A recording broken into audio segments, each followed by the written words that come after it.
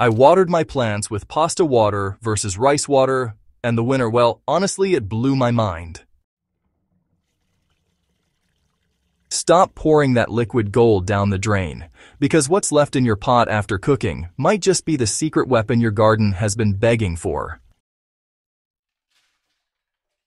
Today on Soil and Crops Central, we're diving into a showdown that has sparked endless debates, surprising experiments, and some jaw-dropping plant transformations. Pasta water versus rice water. Two humble kitchen leftovers that turned my garden into a living experiment, and the results were nothing short of stunning. The Kitchen Garden Dilemma. What's really hiding in these liquids? You know, this isn't just another gardening hack floating around the internet. For years, gardeners have split into two camps, those who swear by the starchy richness of pasta water and those who champion the nutrient-dense power of rice water. Both get tossed out in kitchens every day, yet each carries unique compounds that can shift soil health, energize microbes, and even boost plant growth. So instead of just taking the myths at face value, I put them to the test not only to see which one works better, but to understand why they work in the first place.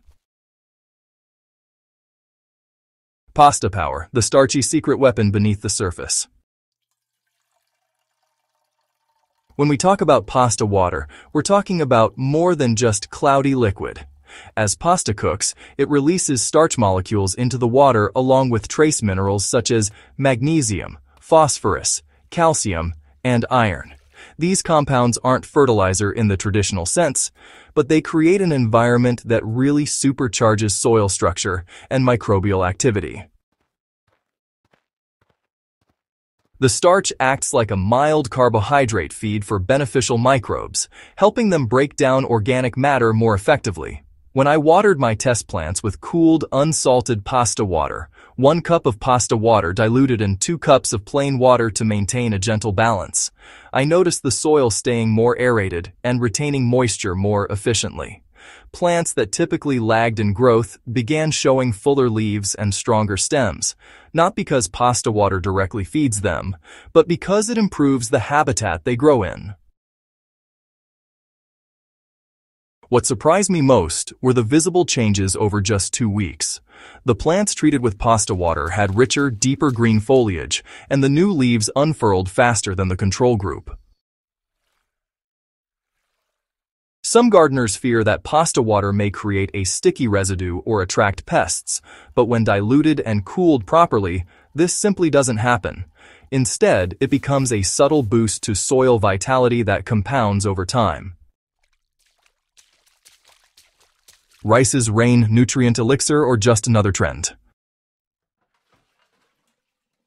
Rice water enters the conversation with a different kind of promise. When rice grains are rinsed or soaked, they shed nitrogen, phosphorus, potassium, and amino acids, nutrients that plants need for growth, root expansion, and vigor. Fermented rice water holds beneficial enzymes and microbial life that can help prime roots for faster nutrient absorption. For my experiment, I used two versions. The first was plain rice water, half a cup of rice rinsed in two cups of water, then strained and diluted with another two cups of clean water before use. The second was a lightly fermented version allowed to sit for 48 hours until it developed a mild, tangy smell, indicating active fermentation. The results were striking. The plants treated with fermented rice water showed noticeably accelerated root growth during repotting checks. Seedlings irrigated with rice water sprouted more uniformly and with greater vigor, especially leafy greens. The natural NPK presence acted like a gentle fertilizer, pushing growth without overwhelming the plants. However, the key was balance. Too strong a concentration or over-fermentation caused slight yellowing in one batch, proving that rice water's strength requires moderation. The Ultimate Garden Showdown. Which one truly wins? Putting pasta water and rice water head to head produced one of the most fascinating comparisons I've done on Soil and Crops Central. The pasta water plants exhibited robust stems, better moisture retention, and healthier microbial activity in the soil. The rice water plants, on the other hand, showed exceptional root development, faster sprouting, and more vibrant leaf growth. Visually, the rice water group looked fuller, while the pasta water group looked sturdier. In controlled tests using two sets of the same plant species grown under identical conditions, the rice water batch began outpacing the pasta water batch within the first 10 days. But by week 4, pasta water plants caught up in structural strength and leaf quality. Here's where the nuances appeared. Flowering plants responded better to pasta water because of the improved soil conditioning leafy greens, herbs, and seedlings responded more enthusiastically to rice water due to its gentle nutrient content. So the winner isn't one or the other, it's the one that fits the specific plant's stage and need. Beyond the hype, here's how to maximize these liquids in your garden.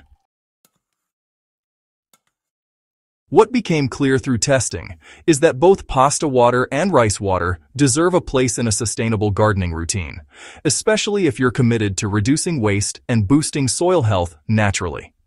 Pasta water works best when used once a week to support microbial ecosystems and maintain healthy soil texture. Rice water, especially when diluted and used no more than twice a week, supports growth spurts, seedling development, and overall plant energy. The real secret lies in alternating them. Pasta water builds the foundation, rice water fuels the growth, and when combined with compost, organic matter, or natural fertilizers, they become part of a powerful, low-cost, eco-friendly gardening system. Soil health is ultimately the engine that drives plant performance, and these liquids act like gentle tune-ups that keep that engine running smoothly.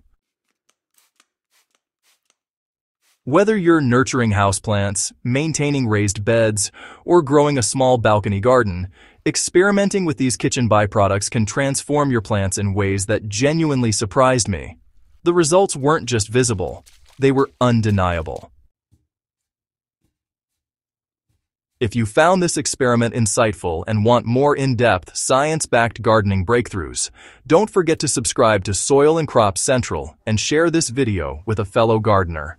Your garden and your kitchen have more power than you think.